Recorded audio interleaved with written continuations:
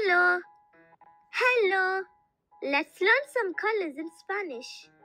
Red, rojo, orange, naranja, yellow, amarillo, green, verde, blue, azul, purple, púrpura, pink, rosa, brown, marrón, black, negro, white, blanco, Thank you for watching my video. If you liked it, please give it a thumbs up and subscribe to my channel. And remember, keep learning, keep on learning.